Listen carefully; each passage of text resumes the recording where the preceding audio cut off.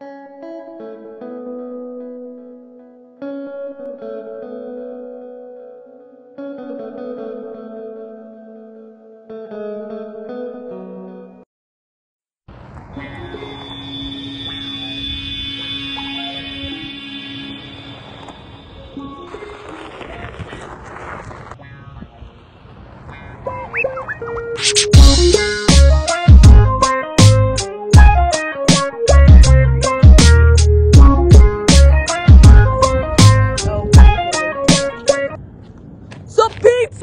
subscribe and like the channel or else this water will hit you.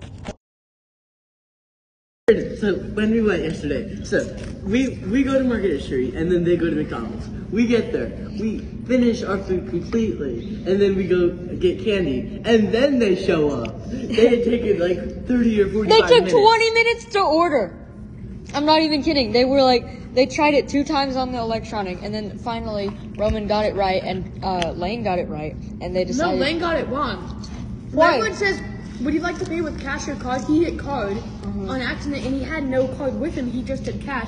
So we had to like call the person over and like pay and then like ca- like I Oh, yeah. Mm-hmm. he, they had to like reset the system. It was terrible. It was terrible. Honestly, Lane kind of missed out all.